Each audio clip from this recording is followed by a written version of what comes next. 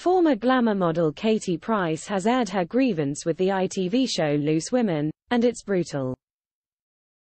Katie appeared as a regular panelist on the ITV show between 2015 and 2018, but has not been seen there since. Her ex-husband, Peter Andre and their son, Junior Andre, have both appeared on the show this year, and during Junior's interview, Katie was not mentioned at all. Now the star has spoken out about the daytime program on her podcast, and she has a bone to pick with the ITV team. Will Katie Price return to Loose Women?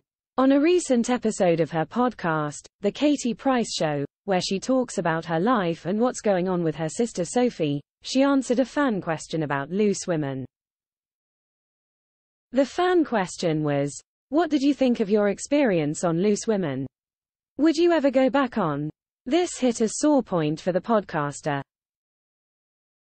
Katie jabbed, I'm going to throw it back. Would they ever have me back on?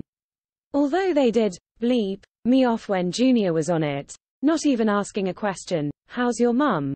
And all of that. Very disrespectful. Her family on the show Junior appeared on Loose Women for a solo interview last month to talk about his new music.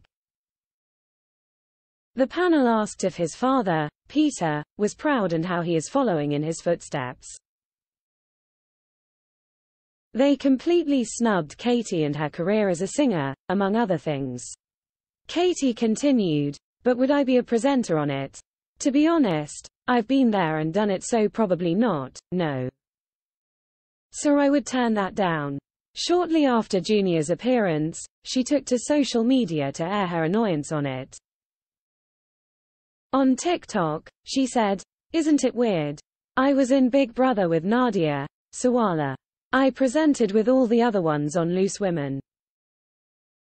She hit out that it was only mentions of Pete, and nothing about her. The show has a revolving door of regular presenters and occasionally brings on a special guest in the role, but from the sounds of it, fans shouldn't hold their breath waiting for her return.